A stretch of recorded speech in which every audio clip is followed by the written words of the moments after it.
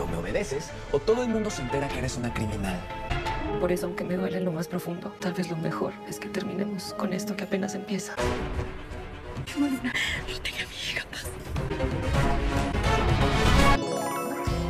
Gente, o Jerônimo é um tonto, né? Ele quer mesmo cantar de galo justo na Genebra. Coitado.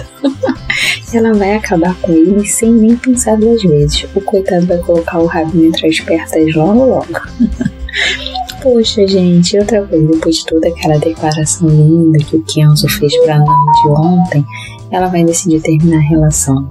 Poxa, eu fiquei com peninha do Kenzo agora, né? Tadinho, o que vocês acham que ele vai fazer? Ele vai deixar a de terminar ou vai lutar por ela? E a pobre da pai, gente, que se não bastasse ter apanhado da filha ontem, que ela levou um sacode.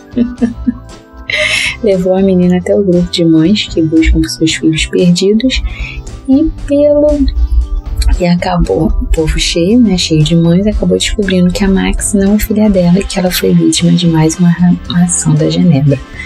Coitada da paz, é só paulada pra ela, né, gente? Mas e aí, comentem o que vocês acharam no capítulo, da chamada do capítulo de hoje da novela El Amor no tiene receta. Escrevam aqui nos comentários o que vocês estão achando dessa novela, se vocês gostam do, do Jesus, se vocês querem mais conteúdos, escrevam aqui que eu quero saber muito o comentário de vocês, tá bom?